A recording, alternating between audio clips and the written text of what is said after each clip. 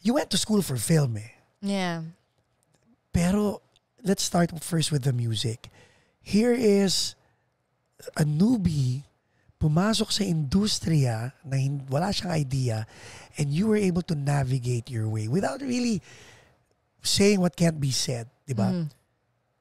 It wasn't handed to you eh. You had to fight for your place in the Yeah. music industry. Mhm. Can you share yung, yung beginning nung nung pagsimula mo? Because how old were you? I think I was when I started. Yeah, I Sa was music? fresh out of fi- maybe sixteen or yeah, 16. 17. And yeah, so kakato ka sa pinto ng mga record executives. yeah.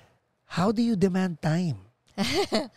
I think maybe I was at a point of desperation at that time because I, I I had like a you know I had a family to provide for. So Uh-huh. that was my motivation. It wasn't um yeah it was you know medyo on a gut level that medyo gutsy siya. But actually from my end at that time also I was working with someone that was genius also. So it it wasn't you know I was basically you know like on behalf of him. So i had that confidence came from who i represented also. And you know yung desperation joke yun. Pero a- little bit also because of course that had to that, that was also part of it. You had to want it talaga eh. yeah i had to yeah i had to i had to i had to.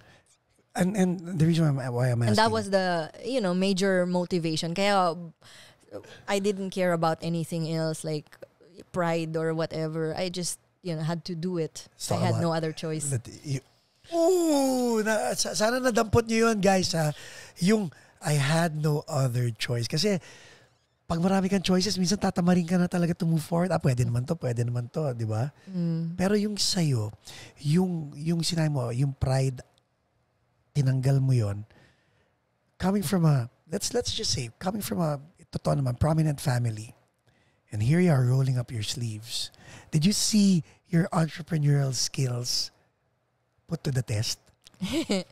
um entrepre- um Kasi business mo na yan eh. Like, mm, handling Ely Buendia, that, that, that's the product, that's the brand. yeah And now you have to run this business, this, which is called family, di ba? yeah I, I mean I was also again lucky that my parents were you know kind of like I I was learning From them. them, you know how they yeah yeah how they conducted themselves how they operated and also my background of of you know being able to communicate with different kinds of people. I think that's what really helped me kind of um navigate this mi- business plus this like motivation to really be able to provide. I think all that that, that combined you know and also with the trust of uh, the artist also it, it kind of really Wow. Kaya ako nakangiti ah. Tanda mo, nasa isip ko, this is a 16-year-old kid or a 17-year-old kid trying to find her way in an industry na medyo cutthroat.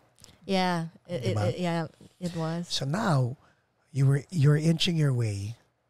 You're moving up the ladder. What was the what was the social climate like? Did you find to yourself to having less friends or more friends?